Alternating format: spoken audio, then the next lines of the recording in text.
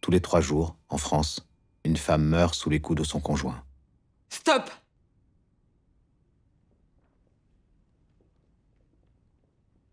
Le point noir, je connais. Tu connais?